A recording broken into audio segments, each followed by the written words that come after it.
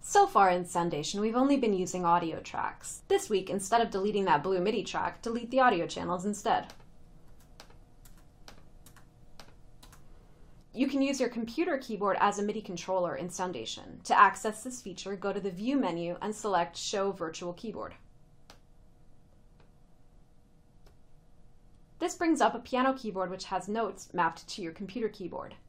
Soundation defaults to a simple instrument when you create a new software instrument. To audition it, select the track and type on your keyboard.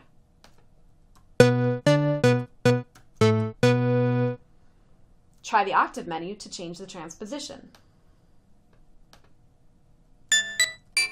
How high or low can you go?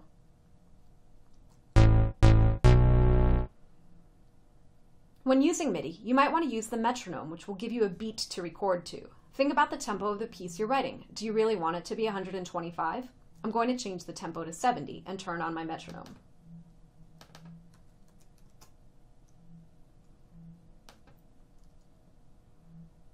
Then I'll press record and I'll be able to enter MIDI notes.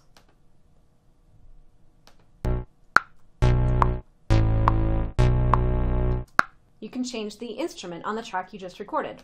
Right now it's simple,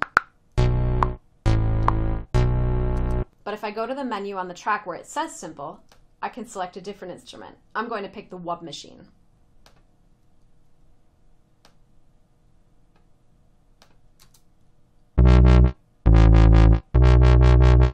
Notice my notes are the same, but the timbre is different.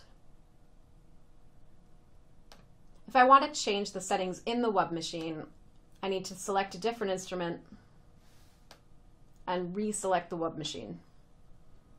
I'm going to change my LFO speed.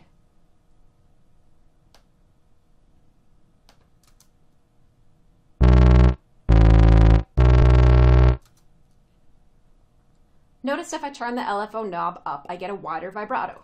And I can actually automate this parameter by going to the Automate menu and selecting the parameter I want to manipulate. I was just working with the LFO speed, so I pick that. A line appears, and then I can manipulate it over time.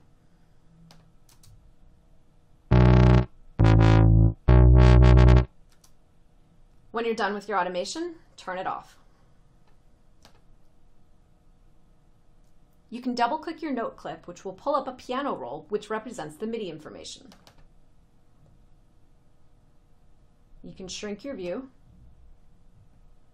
So these are the three notes I just recorded. The piano is on the left, and the notes are represented in orange. You can drag a note to change its pitch.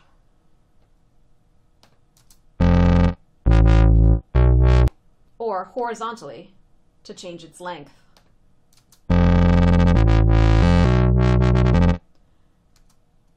Soundation is monophonic, which means it will only play one note at a time. You can also use the pencil to draw notes in, but I think it's easier to use the computer keyboard.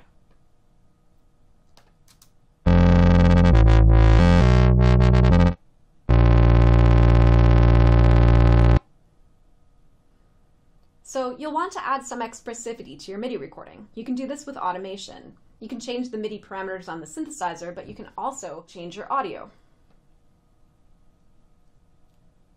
You can do this by automating the controls such as the LFO, but you can also add volume and panning and other audio effects. Remember, MIDI tracks generate audio. So if I want this to fade out, I can put volume on.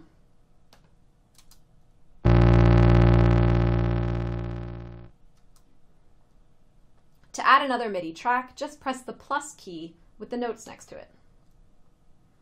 For this week's assignment, I want you to use a combination of audio and MIDI to create a piece of music. Try to make your MIDI tracks sound as expressive as your audio tracks. And remember, you can always use audio to support your MIDI. For those of you using a combination of Soundation and Audacity, you're able to export MIDI sounds as WAV files in Soundation. Then import that track to Audacity and add your audio signal for the assignment.